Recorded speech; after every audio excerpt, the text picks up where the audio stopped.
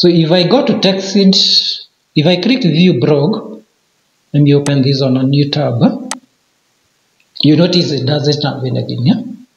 So my website is live, and as you can see, there is a theme.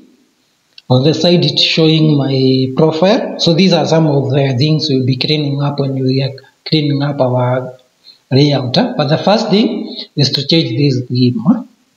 So we need to change the theme. So we go back. On the left side, you have your blog, where you can even add new blogs. Huh? Remember, you can do up to 50 blogs with the same Gmail account huh? or Google account. Huh? You can come and click new blog, add, it will be added, then uh, you go ahead and um, add co uh, content. Then you link all blogs done at the same Gmail account to the same AdSense account. You won't sign up uh, for different uh, AdSense, but there is a downside doing that. If one blog is suspended and your AdSense there is that risk because of that blog, and you lose access to all to your earnings for the other blogs. So I always advise when you're creating new blog, always create a new Gmail account if that's possible.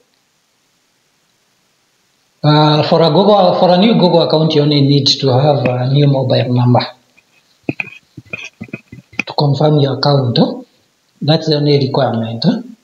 And I think there is a limit to uh, number of accounts you can confirm using the same phone number. So don't be tempted to add new huh? unless you are very sure you never go against uh, Google's uh, AdSense policy. Remember, if you, are, you break any of the policies, your account is at risk. And if it is suspended, then uh, Google will always look for linked accounts. Huh? Remember, you're adding websites on your AdSense account. I will show you where you add a website. Huh? So all websites that are linked that link, they are flagged huh, by Google.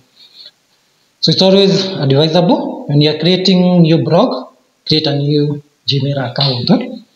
And it's also easier for you to manage them because you can also uh, invite different uh, bloggers to post articles. Maybe you can pay them something small to contribute to your blog. Remember, you don't have to do blog articles. You can also invite uh, people to contribute. Then uh, those posts will now also go way in counting uh, to your AdSense approval. Uh, we'll see uh, the number of posts that are required. I got approved on my other blog where I'm doing um, tutorials on this. You can check Jantersand.